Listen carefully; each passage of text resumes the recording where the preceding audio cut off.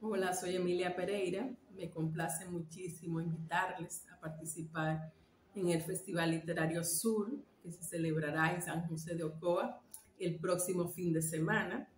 Estaremos participando varios autores y autoras de la República Dominicana y será un gran homenaje a William Mejía, un gran escritor de nuestra región.